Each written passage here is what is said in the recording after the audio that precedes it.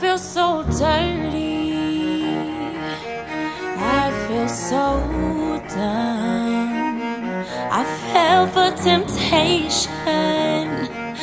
Lord, what have I done? I never meant for this to get so.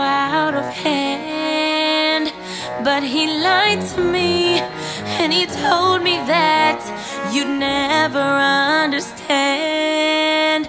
But it was never in my plan to become the liar, become the cheater, become the murderer.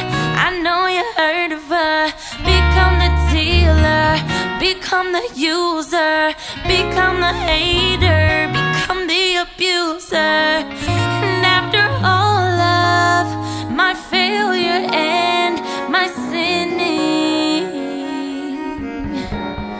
Jesus still wants to save me and live in me. So if Jesus can, then why can't you forgive me? Forgive me, forgive me, forgive me. I